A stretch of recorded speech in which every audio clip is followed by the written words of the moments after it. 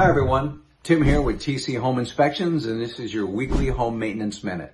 Today's topic is, should I have my home tested for radon? That's a question we get all the time when people are booking an inspection and I wanted to let you know how our company handles that question. It's very simple. We tell people if you are concerned about carcinogens in your home, exposure to you and your family members, then you should probably have your home tested for radon gas. We just follow what the Surgeon General and the EPA says, and they state when you buy a home, you should have it tested for radon gas. That's the bottom line. It's a carcinogen. And what that means in the real world is no one on the planet can really tell you if exposure to elevated radon is going to cause you cancer, but it is something to be concerned about. So I tell them the decision to test is totally up to them. We use continuous monitors. You will have the test in two days, which makes the process very convenient for you.